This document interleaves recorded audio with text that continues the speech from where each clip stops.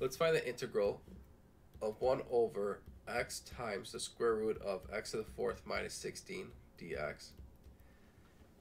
So let's make a substitution. Let u equal the square root of x to the fourth minus 16, which is just x to the fourth minus 16 raised to the 1 half power.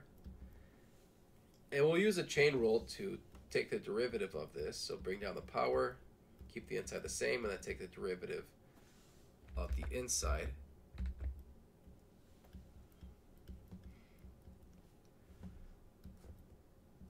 So right now, I guess if we were to rewrite this, let's clean it up. We have 1 over, well, 4 times a half is 2, so there should be 2 up here.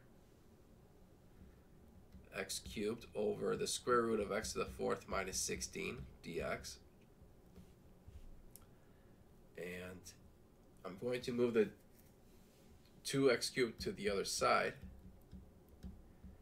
that will be dx over the square root of x to the fourth minus 16, which is going to be right here. So that's going to get replaced with uh, 1 over 2x cubed du. The 1 half, we can bring it outside. That's 1 half. And then 1 over x times 1 over x cubed is 1 over x to the fourth. But recall that u is equal to the square root of x to the fourth minus 16. So if I square both sides and then add 16, I'm able to solve for x to the fourth. So it's 1 over u squared plus 16.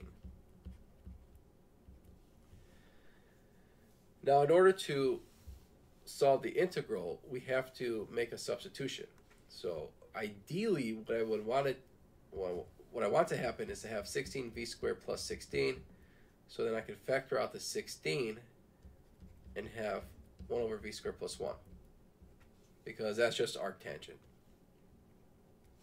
So we want u squared to equal 16v squared. So if I take the square root of both sides, I get u is 4v or v is u over 4. So that's going to be our substitution. So dv is 1 fourth du. So 1 half integral 1 over, so u squared, it, we said is uh, 16 v squared from over here. And then du is 4 dv. So this 4 will come outside and multiply the 1 half to get 2. Then I'm going to factor out the 16. So 2 over 16 becomes 1 eighth integral 1 over v squared plus 1 dv. The antiderivative of that is arctangent of v plus the constant c. But recall that v was u over 4, so replace that with u over 4.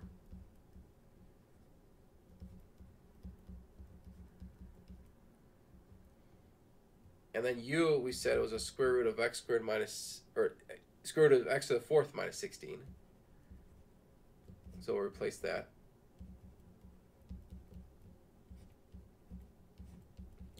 And so this is our final answer.